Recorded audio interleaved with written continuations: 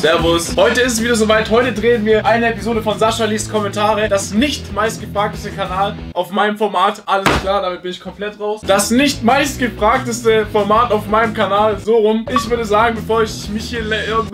Ich würde sagen, bevor ich mich jetzt hier noch weiter verspreche, fangen wir an, ganz traditionell, wie es für dieses Format üblich ist, mit dem Kopf... Fangen wir ganz traditionell an mit dem Top-Kommentar aus der letzten Episode. Und zwar, meine Mutter hat mich letztens gefragt, wie ich gleichgeschlechtliche Beziehungen bei Frauen sehe. Meistens in HD war dann doch die falsche Antwort.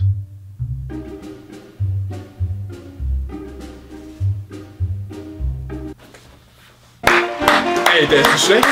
Der ist nicht schlecht. Wir feiern heute, ich glaube, zum zweiten Mal. Zum.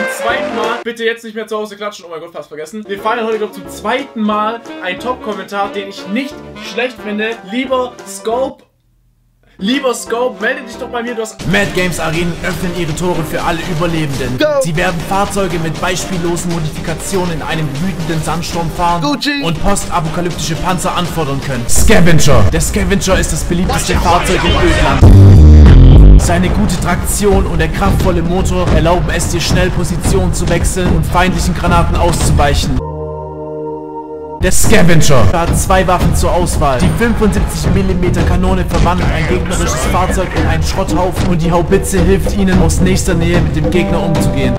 Betrete das Spiel bis zum 25. Oktober und schaffe 50 Kämpfe in dieser Zeit, um den Schnitzeljäger kostenlos zu gewinnen. Grave Digger! Hoher Schaden durch Rammen, dicke Panzerung, gute Dynamik und eine schnell feuernde Waffe.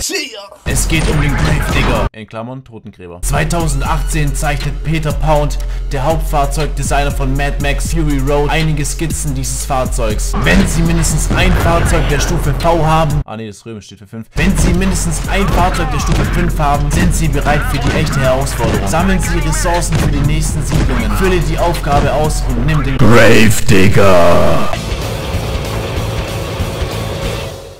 Download über diesen Link. Erhältlich auf iOS, Android, Mac, Steam, Windows 10. Was sagt Andreas Burani auf einer Beerdigung? Auf jeden Fall schon mal nicht. Ich hebe ab. Mein Herz schlägt schneller als deins. Oh mein Gott. Oh mein Gott. Was für Kommentare habt ihr schon wieder rausgesucht? Okay. Gut, äh, niveautechnisch sind wir auch schon beim zweiten Kommentar auch wieder ganz unten angekommen. Da frage ich mich schon wieder, ob ich das reinschneiden darf. Wenn das nicht anders geht, dann macht das so. Wie nennt man es, wenn Sascha ein Salto macht? Mehr Anzeigen. Bottle Flip. Was, was ist daran der Witz? Weil du eine Flasche bist.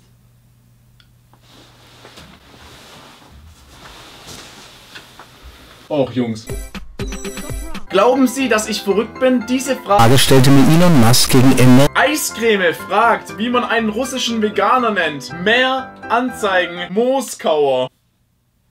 Alter, die Episode tut so weh. Ey Leute, wirklich, es tut mir an der Stelle, mir tun wirklich wenig Dinge leid, aber das tut mir wirklich leid für solche Kommentare. Es tut echt weh. Also wer jetzt gerade, ganz kurz for real, wer jetzt gerade zu Hause sitzt und über diesen Kommentar lacht mit Moskauer.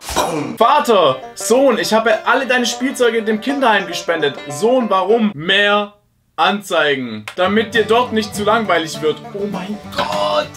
Jungs, was für Kommentare. Hä? Komm, wird es wirklich unter meinen Videos kommentiert, falls das der Fall sein soll? Die Kommentare sind heute ja genial, Mann. Für alle Leute, die neu auf meinem Kanal sind. Hi, ich bin Sascha. Äh, ich lese ab und zu so circa einmal im Monat Kommentare, die unter meinen Videos geschrieben werden. Wie jetzt gerade in dem Fall solche Kommentare. Falls euch das gefällt, könnt ihr gerne ein Abo da lassen und einen Daumen nach oben an der Stelle. Ich würde mich sehr freuen. Falls es euch nicht gefällt, dann... Diese Frage stellte mir... Wie nennt man einen studierten Bauern? Mehr Anzeigen. Akademiker.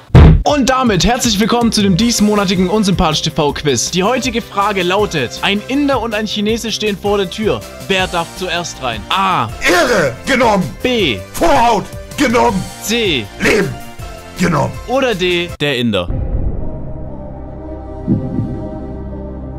Der Inder. Punkt vor Strich.